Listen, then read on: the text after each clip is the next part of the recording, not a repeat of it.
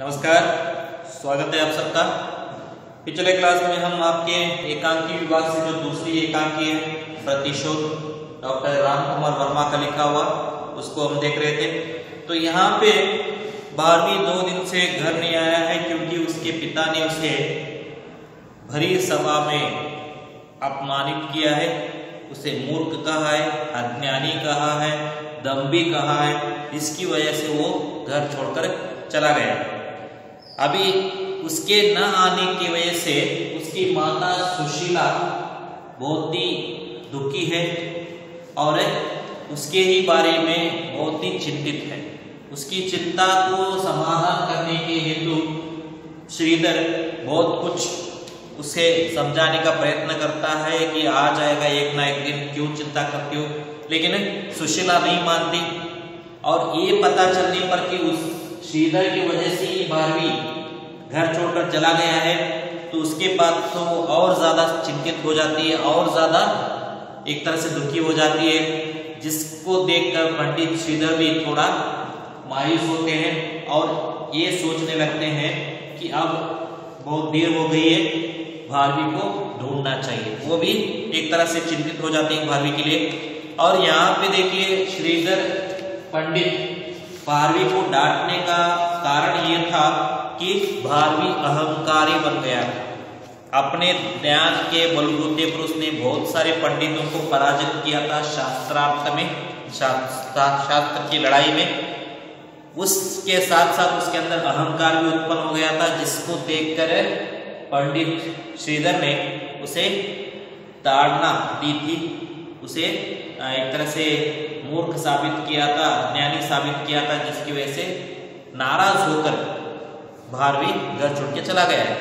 अभी श्रीधर को भी लग रहा है कि मैंने बहुत कुछ ज़्यादा कर दिया और पत्नी के दुख का कारण भी वही है। तो सोचते हुए श्रीधर अभी पत्नी को ये वचन दे चुका है कि वो सभी जनपदों में जाएगा और भारवी की खोज करेगा। तो यहाँ पे बीच में एक पात्र आती है, भारती नामक एक विदुषी जो भारवी के साथ शास्त्र की लड़ाई करके पराजित हो चुकी है और बारहवीं से इम्प्रेस है, बारहवीं से वो आकर्षित है। उससे मिलने के लिए आई थी, लेकिन वो नहीं आए ये सोचकर वो भी एक तरह से मायूस होती है और बाद में सुशीला और श्रीधर से मिलकर चली जाती है।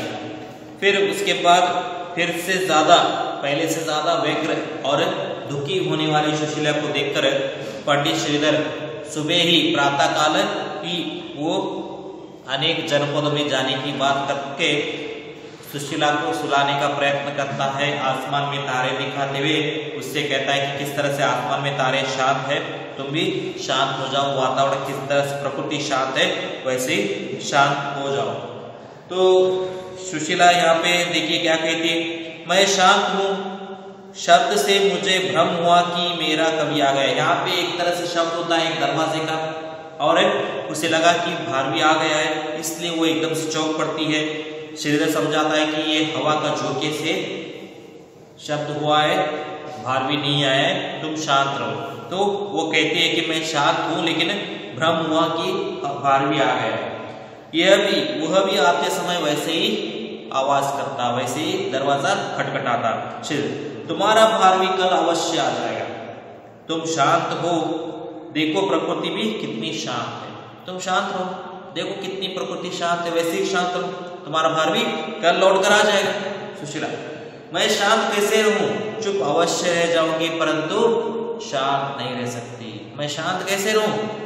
चुप अवश्य रह सकती हूँ, लेकिन शांत नहीं रह सकती।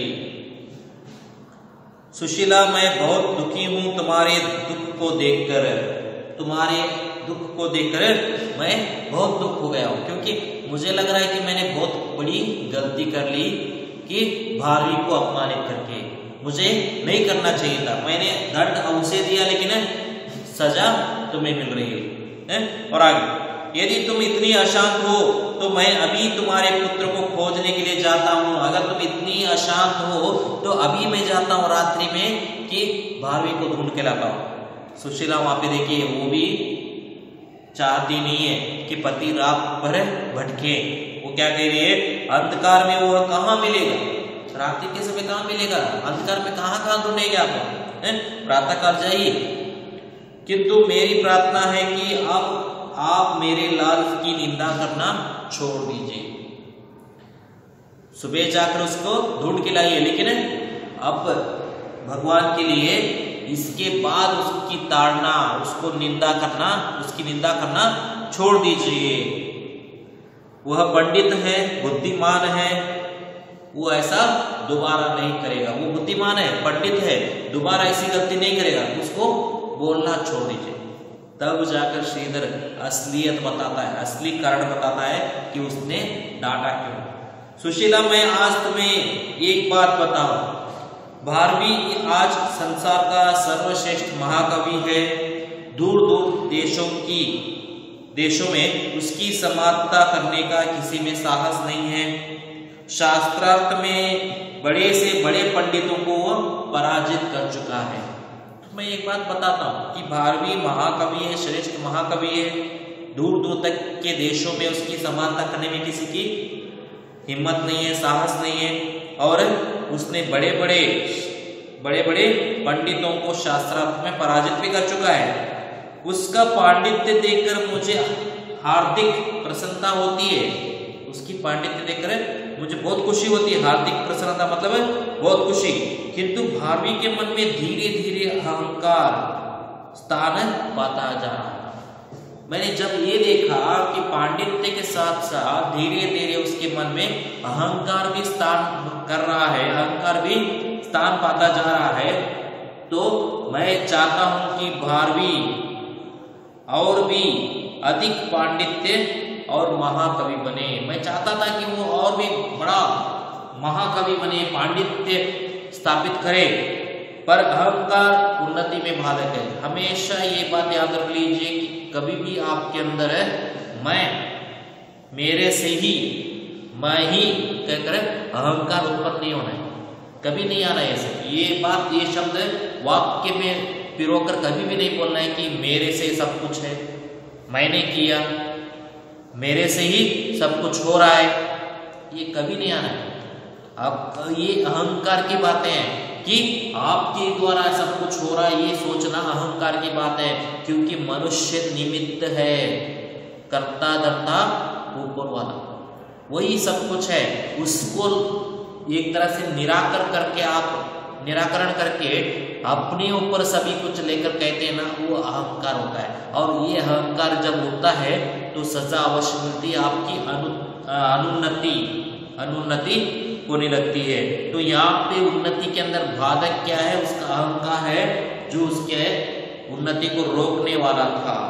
मैं उस अहंकार पर अंकुश रखना चाहता हूँ। मैं क्या करना चाहता हूँ? उस अहंकार पर अंकुश रखना चाहता हूँ।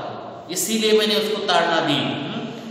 जिसे अपने पांडित्य का अभिमान हो जाता है, वो अधिक उन्नति नहीं कर सकता। जिस व्यक्ति को अपने पांडित्य पर अहंकार या पांडित्य पर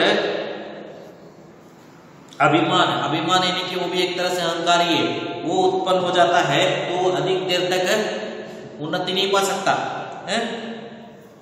यही कारण है कि समय समय पर उसे मैं मूर्ख, अज्ञानी कहता हूँ। यही कारण है कि मैं उसे समय समय पर उसको डांटता रहता हूँ, उसको मूर्ख और अज्ञानी कहता रहता हूँ, ताकि वो अंदर से कमज़ोर महसूस करे और अपने पांडित्य को और उजागर करने का प्रयत्न कर सके। और यहाँ पे भी आपको कहना चाहूँगा कि किसी को हम एकदम से शाबाशी या एंड तक शाबाशी नहीं दे सकते। बीच बीच में उनको डांटते रहते हैं ताकि वो शाबाशी लेकर अहंकारी ना बन जाए। दूसरे रास्ते पर ना चले जाए। किसी को सदैव शाना शाना कहते रहेंगे, जीवन भर उसको होशियार कहते रहेंगे तो अपने आप में ही वो होशियार, महा होशियार समझ कर महा होशियार समझ कर वो एक तरह से क्या करेगा? अहंकार में डूब जाएगा। है?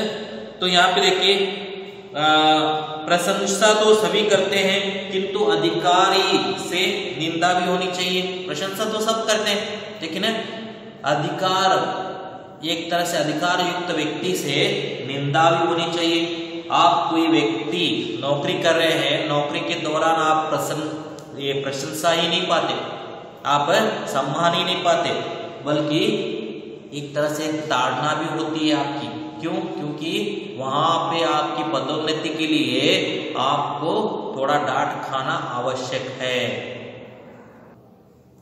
तो आगे यहाँ पे और एक वाक्य में कहता है कि मैं नहीं चाहता अंधकार के कारण मेरा पुत्र उन्नति, मेरा पुत्र का उन्नति रुक जाए। मैं नहीं चाहता कि अहंकार के कारण उसकी उन्नति रुक जाए, मेरे पुत्र की उन्नति रुक जाए। पिता की इच्छा देखिए क्या है कि वो महाकवि बने, महाश्रेष्ठ व्यक्ति बने, लेकिन अहंकार में पढ़कर नीचे ना आए।